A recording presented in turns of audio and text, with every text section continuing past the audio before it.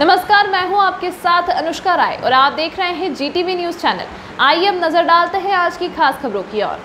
आज़ादी के 75वें वर्ष अमृत महोत्सव पर पूरे देश में 13 से 15 अगस्त तक हर घर तिरंगा अभियान चलाया जा रहा है। जिसको लेकर जागरूक करने के लिए शक्तिनगर प्रभारी निरीक्षक नागेश सिंह के नेतृत्व में शक्तिनगर पुलिस बल समेत बीना चौकी पुलिस बल के साथ आज क्षेत्र में तिरंगा यात्रा निकालकर क्षेत्र वासियों को जागरूक किया गया। इस दौरान पुलिस बल के साथ क्षेत्र के ट्रांसपोर्टर भी हर घर तिरंगा जागरूक यात्रा में शामिल हुए। प्रभारी निरीक्षक नागेश सिंह द्वारा अवगत कराया गया कि पूरा देश आज़ादी के पिछहत्तरवे स्वतंत्रता दिवस को लेकर समूचे उत्तर प्रदेश में तिरंगा यात्रा को लेकर 13 से 15 अगस्त तक तिरंगा यात्रा निकाल कर जनता को जागरूक किया जा रहा है। इस अंक में फ़िलहाल इतना ही। इसी तरह की खबरों के साथ बने रहने के लिए हमारे चैनल को सब्सक्राइब करें।